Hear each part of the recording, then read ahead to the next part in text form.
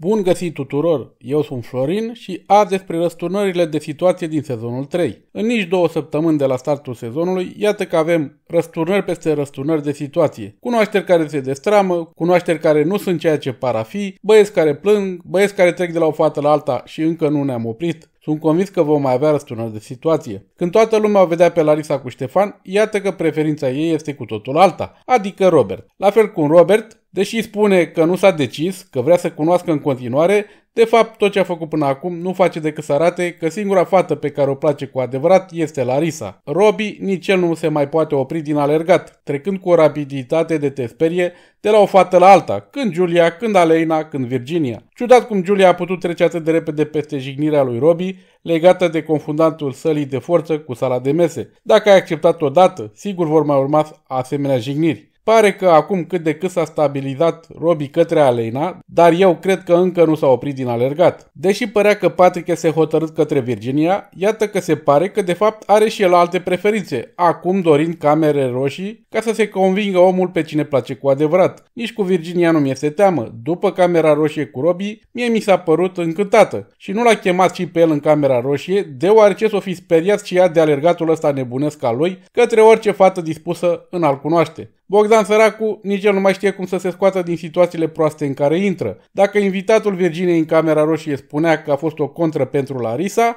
îmbrățișatul de azi al Ștefaniei spunea că nu este o contră, deși nu mai departe de ieri îi făcea o scrisoare de amor Larisei. Daniela a fugit cât de tare a putut de Laurențiu, singurul băiat ce a părut interesat de ea. Ba mai mult, a durut undeva că l-a mai și atins cu o mică jignire, făcându-l pe acesta să plângă. Cosmin s-a îndreptat și el trei sferturi către Ștefania și doar un sfert către Bianca, dar azi Ștefania pare a face un pocinog, dându-i o îmbrățișare lui Bogdan, dar probabil promoul ne-a înșelat, poate că este altceva la mijloc. Ștefan, singurul ce a rămas consecvent în a se îndrepta spre Larisa, dar din păcate aș spune că el vede paiul din ochii altora, nevăzând bârna din ochii lui, adică refuză să observe și el ca toată lumea că Larisa are ochi doar pentru Robert, chemându-l pe acesta de două ori în camera roșie și niciodată pe Ștefan. Cam atât momentan, până data viitoare, vă doresc un weekend minunat.